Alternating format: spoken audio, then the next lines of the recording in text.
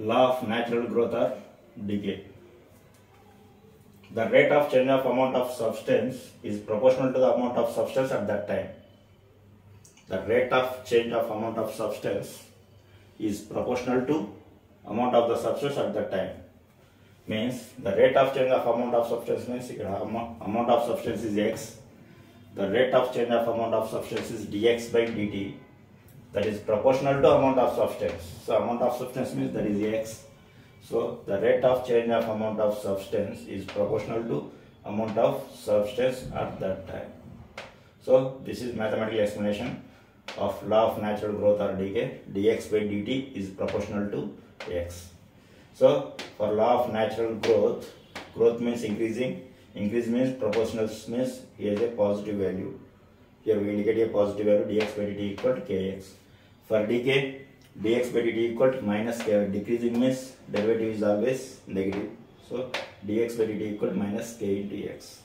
So for growth, increasing, for increasing derivative is always positive. For decay means decreasing, means dx by dt derivative always negative for decreasing.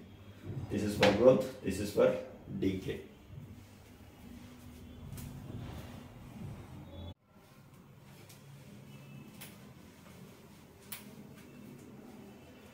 The number of N bacteria in a culture grew at a rate proportional to N. The value of N was initially 100 and increased to 332 in 1 hour.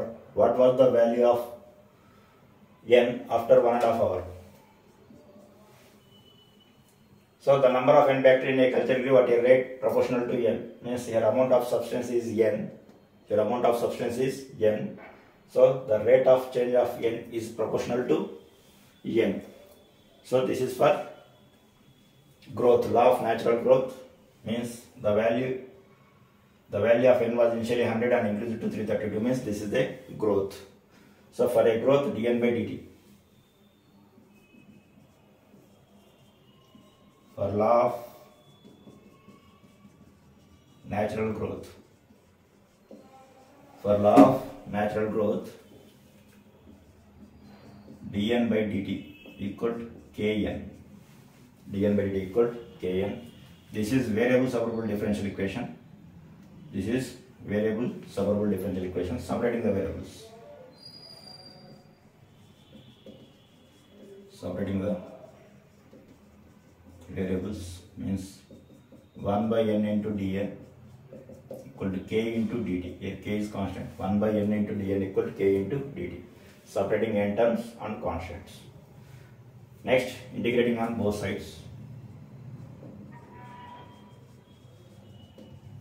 Integrating on both sides. Means integrating 1 by n dn equal to integrating k into dt. Integration of 1 by n is log n. k dt means kt plus c. This is equation number 1. This is law of growth. Equation of law of natural growth. Log n equal to kt plus c. So n is amount of substance, t is time, k and c are constant. So now first initial condition, we know that initial time is always 0. So when t equal to 0, when t equal to 0, so the original value is, initial value is 100. So n equal to 100. Substitute in the 1, log 100 equal to k into 0 plus c. 0 into k 0, log 100 equal to c. So substitute the equation 1, we get log n equal to kt plus c means log 100. This is equation number 2. Next condition, after 1 hour, after 1 hour, n was initially increased to from 100 to 330, 332. So 1 hour means here hours transformed to in minutes. So 1 hour means 60 minutes. 1 hour means 60 minutes. So n equal to 332. Substitute in the equation 2. Log 332 equal k into 60 plus log 100. Find the value k.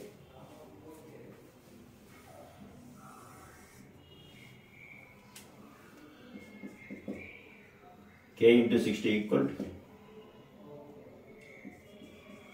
log 332 minus log 100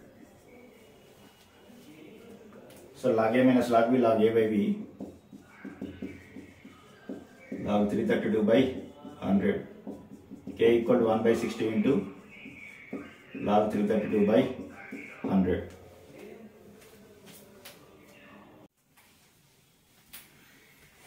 K equal to 1 by 60 into log 332 by 100. Substitute in equation 2. Log n equal to kt plus